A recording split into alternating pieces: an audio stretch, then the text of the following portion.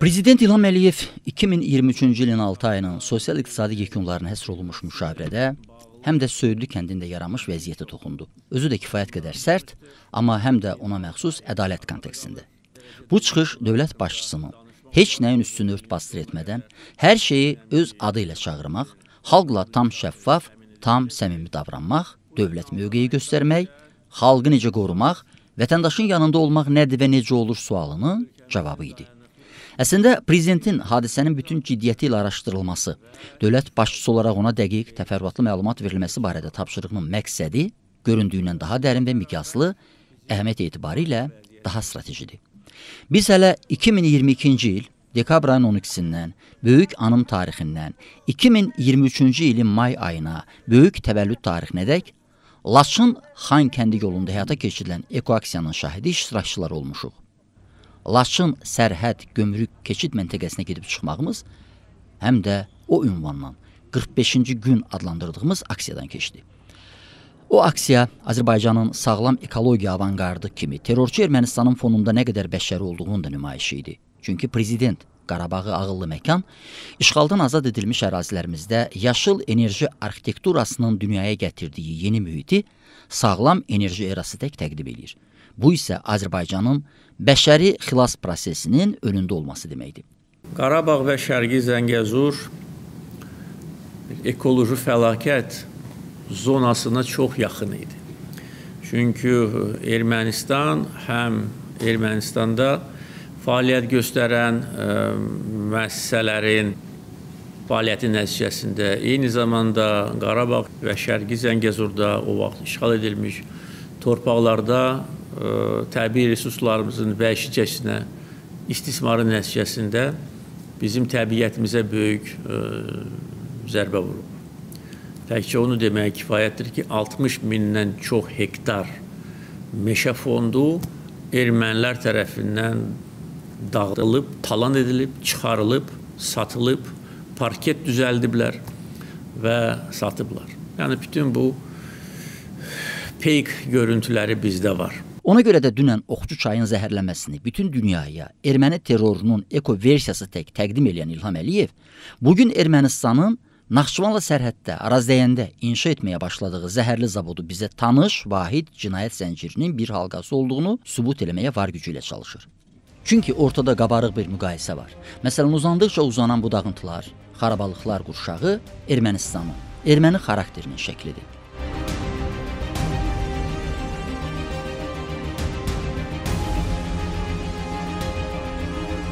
Bu mənzərə isə İlham Əliyev Azərbaycanının humanist bir xalqın, qurucu, yaradıcı millətin xarakterini əks etdirir.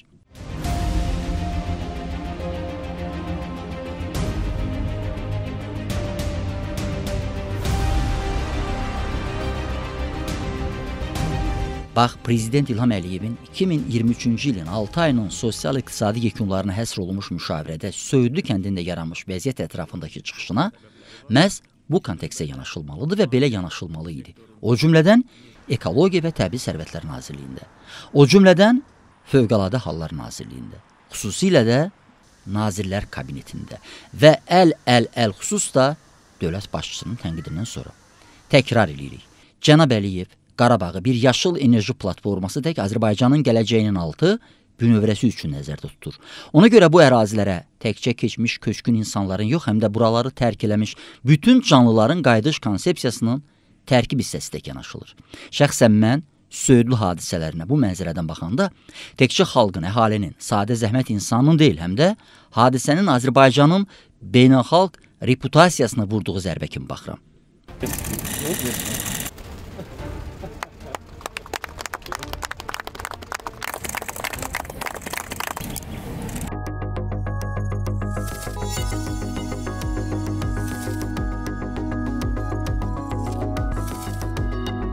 Biz təbiətə diriliyi qaytardığımızı nümayiş etdiririk. Bəşəriyyətə Azərbaycanın humanist xasiyyətə, dünyasevər keyfiyyətə malik olduğunu göstərməklə həm də Ermənistanın yırtıcı təbiətini təqdim eləmiş oluruq. İndi trans sərhəd təhlükələri mütləq nəzərə alınmalıdır. və Azərbaycanın burada ə, sərgilədiyi mövqe yenə də beynəlxalq təcrübəyə əsaslanır, beynəlxalq konvensiyalara əsaslanır. O cümlədən ESPO konvensiyası. Onu hər kəs internetdə açıb baxa bilər. O göstərir ki, trans sərhəd çayların çirkləndirilməsi və ölkələrin sərhədlərinə yaxın müəssisələrin ekoloji təhlükə mənbəyi sayıla biləcək müəssisələrin yaradılması mütləq qonşu ölkələrlə razılaşdırılmalıdır. Və biz bunu Ermənistandan tələb edirik. Bu gün Azərbaycan ictimaiyyəti, qeyri-hökumət təşkilatları artıq bu məsələ ilə bağlı Ermənistanın rəsmi orqanlarına müraciət ünvanlayıblar. Və ə, beynəlxalq ə, ekologiya sahəsində fəaliyyət göstərən ekspertlər və qeyri-hökumət təşkilatlarının nümayəndələri də bu müraciətə qoşulublar.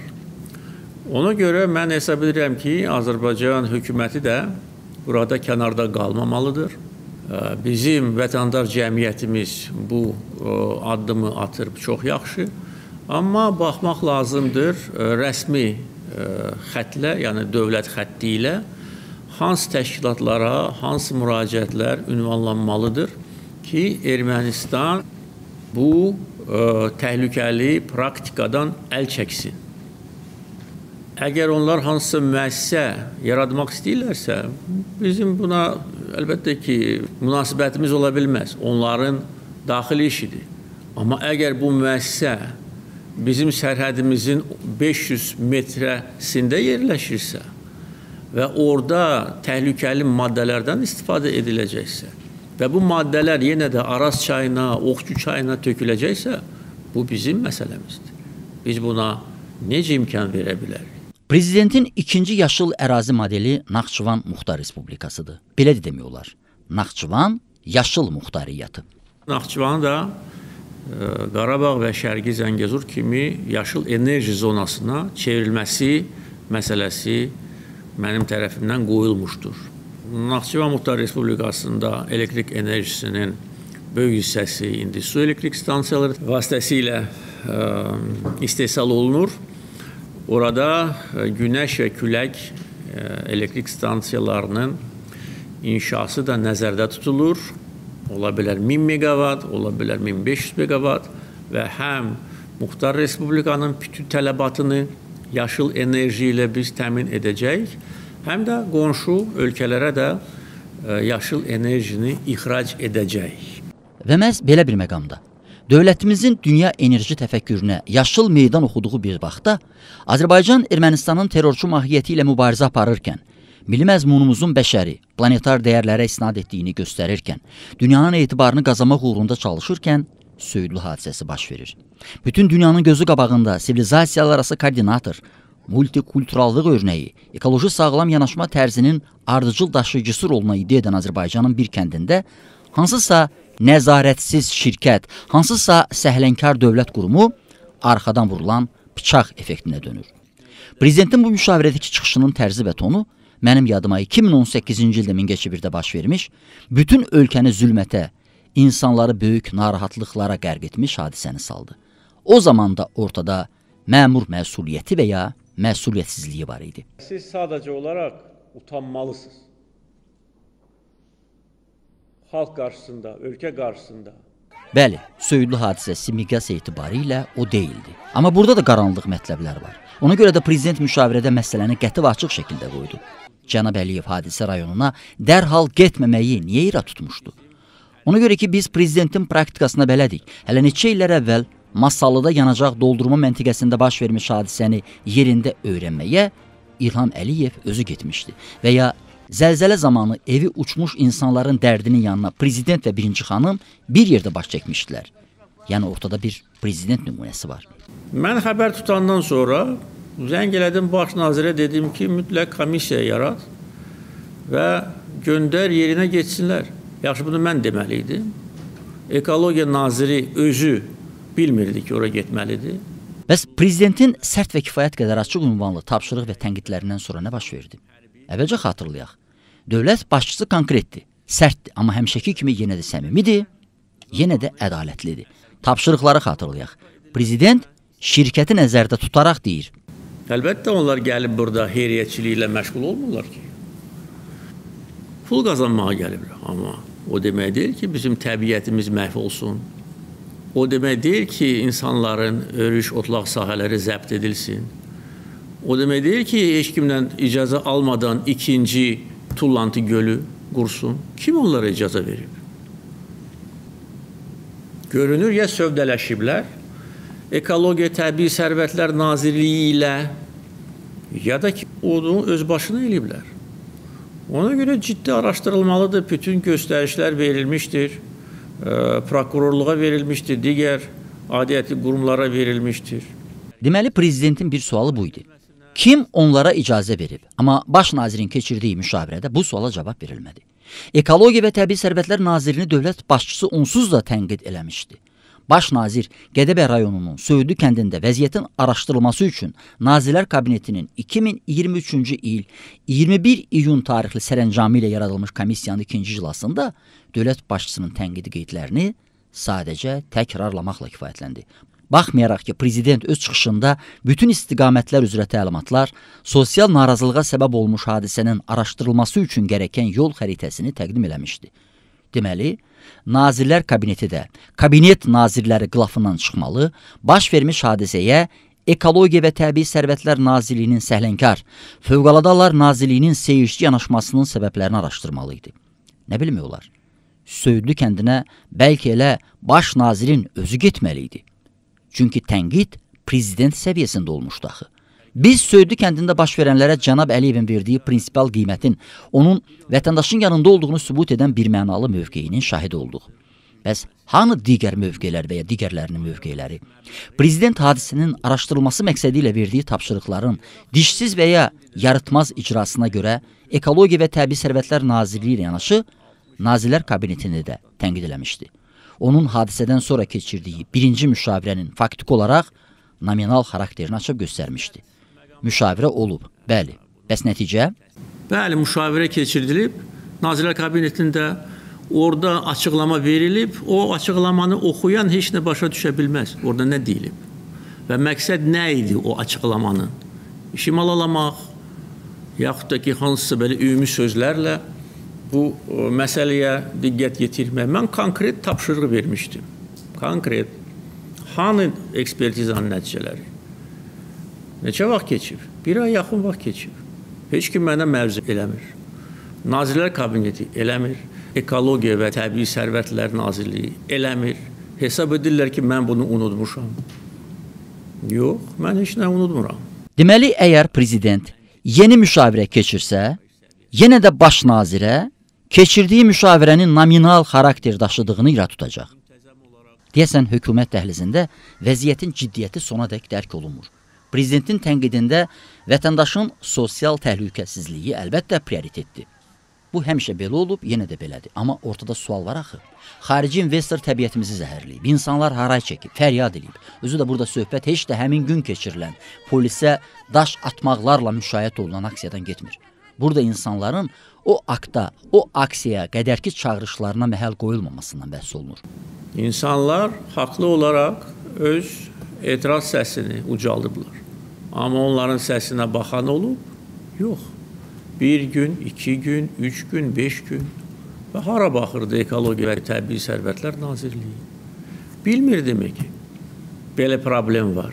Nazirlər Kabinetində keçirilən müşavirədə bu suala da cavab alınmadı. Və ya prezident insanların narazılığının haqlı hissəsini qeyd eləməklə yanaşı, təxribatçı qüvvələrin yedəyində gedənlərdən də danışmışdı. Vətəndaşların bir hissəsi təxribatçıların ə, e, fitnəsinə uyaraq e, ədəbsiz hərəkətlər ediblər, qanunsuz hərəkətlər ediblər. Və bu da dözülməzdi, qəbul edilməzdi. O təxribatçıların bəziləri Azərbaycanda, bəziləri xaricdə gizlənir. Azərbaycandakılar artıq müəyyən edildi və bir neçəsi məsuliyyətə cəlb edilmişdir. Xaricdəkiləri də biz məsuliyyətə cəlb edəcəyik heç kim necə deyərlər, fikirləşməsin ki, biz bunu unutmuşuq. Yəni Azərbaycanda xaos, özbaşınalıq, Təhribat xarakterli ə, addımlar 1993-cü ildə başa çatıb. Əgər kimsə unudubsa, biz xatırlada bilərik. Ona görə vətəndaşlar da həm mədəniyyət göstərməlidirlər, necə deyirlər, mərifət göstərməlidirlər. Qanuna tabe olmalıdırlar. Polisə daş atmamalıdırlar. Polisə daş atmaq heç kimə şərəf gətirən hərəkət deyil. Bu bir. İkincisi bu cinayətdir. Əgər Azərbaycan polisi dözümlülük göstərirsə, o demək deyil ki, kim istəyir polisə daş ata bilir. Qətiyyən bu mümkün deyil. Və mən hər kəsə deyirəm, burada kiminsə nazı ilə biz oynayası deyilik. Necə lazımdır, əgər lazım bilsək, kimi lazımdır elə cəzalandırarıq ki, peşman olar. Dövlət başçısı tam haqlı olaraq polisin işini təqdir etdi. Bəzən hətta açıq provokativ çağırışlara baxmayaraq, təhdidlərə baxmayaraq Söydülüdə polis özünü maksimum soyuqqanlı apardı, peşəkar davrandı. Yeri gəlmişkən, Azərbaycan polisinin qadınlara münasibətdə güya kəskin addımlar atdığını iddia edənlər prezidentin təbrik etsək, ağız büzənlərə Parisin son etiraz aksiyalarında məhz qadınlarla rəftarını göstərmək istədik.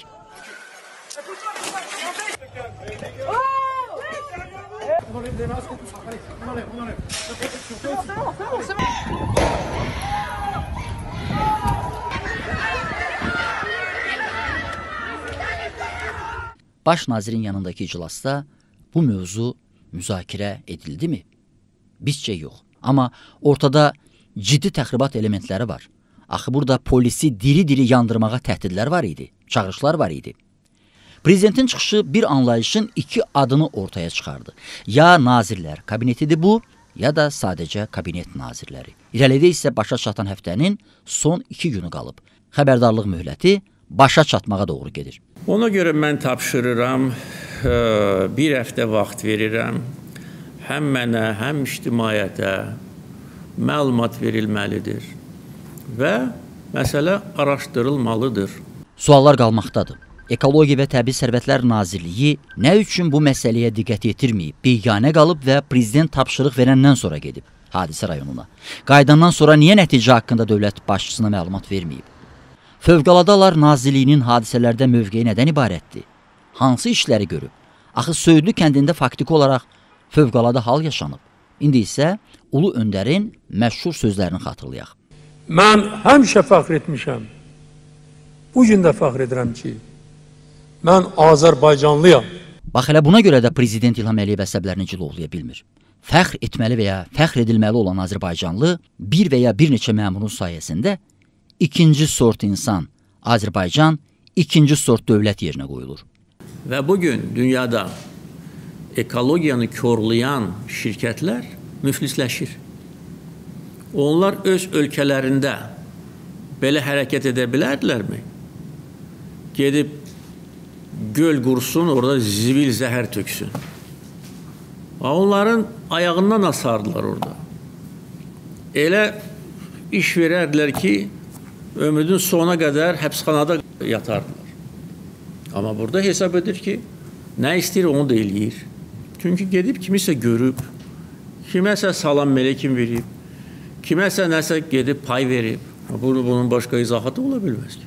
Belə, Nazirlər Kabinetinin binası prezident aparatının düz yanındadır və yəqin ki, bu yalnız coğrafi baxımdan belə olmamalıdır. Nazirlər Kabineti qarşısında Azərbaycanın rəhbərini prezident İlham Əliyevi onun qərar və sərəncamlarını hamıdan və hər kəsdən daha tez, daha əvvəl görməli və yerinə yetirməlidir. Söydlü kimi hallardan baxanda isə xüsusilə.